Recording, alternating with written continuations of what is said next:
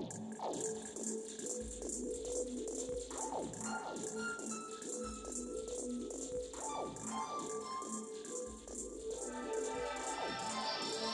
Всем привет! Продолжаем гулять по Петербургу, по моему маленькому городку, по выставкам. Хочу вам представить выставку Алексея Левчука. Она называется «Пангуманизм».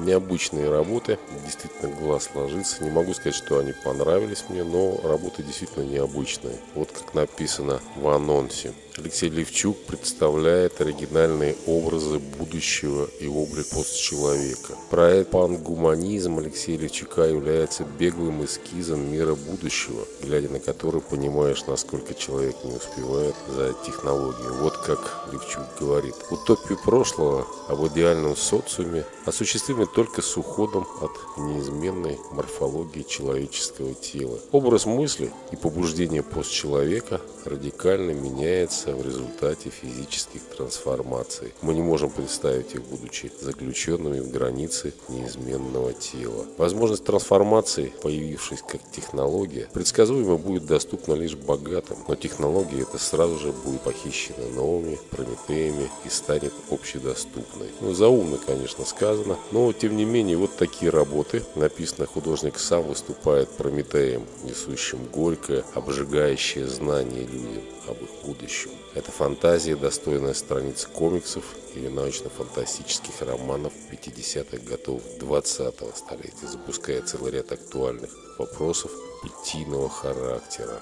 Мир Алексея Левчака. Утопия, где эстетическое равно этическому. По мысли автора, постчеловек с модернизированным скелетом ведет полурастительное существование в бесконфликтном обществе себе подобных создает бесконечные симбиотические конструкции.